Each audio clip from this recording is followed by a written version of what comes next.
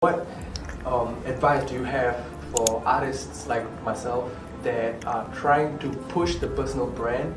on as many platforms as we possibly can without feeling like we are forcing it? Because I do find myself feeling like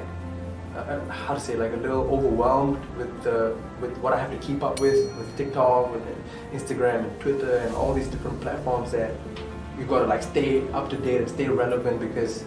I feel like all these people are following me, but if I don't post, I feel a little guilty that I'm not creating the engagement and creating the discussion or the buzz or whatever. Well, I mean,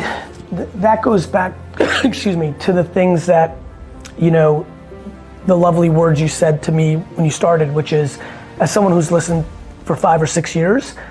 this is not going to seem foreign to you. What I'm about to say is, well, if it feels overwhelming or guilty, like you don't have to. You know, like the reality of all of this is if you can't do something that genuinely makes you happy, it's not gonna work out anyway.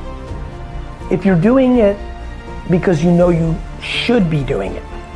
because you're trying to build a career, but it's not enjoyable, that is not a sustainable model.